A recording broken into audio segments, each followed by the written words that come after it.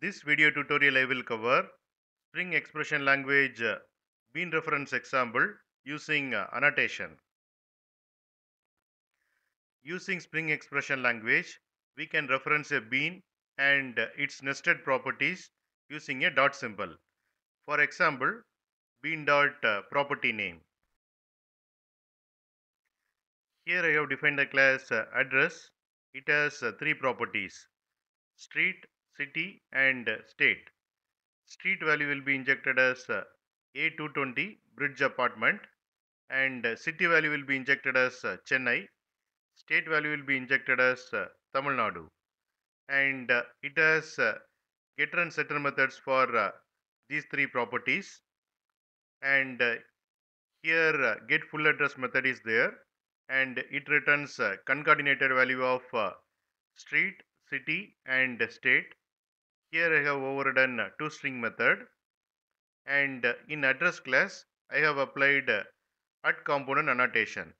And name of the address bean is address. Here I have defined a class employee. And it has five properties. ID value will be injected as uh, 100 name value will be injected as Peter. And employee state value will be injected as Tamil Nadu because uh, here I have used uh, Spring expression address dot uh, state. And full address will be injected as uh, concatenated value of uh, street, city and state.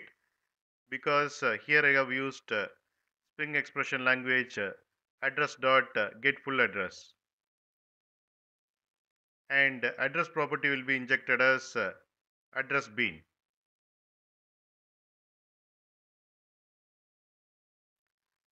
This is a Spring configuration file and uh, here I have enabled uh, auto component scanning for uh, this package. Here I have defined a class uh, app. Here I have created uh, application context object by reading uh, Spring configuration file using getBean method of application context object, getting employee object from Spring container and uh, displaying the employee object. Here you can see the output and uh, here you can see the employee object uh, information.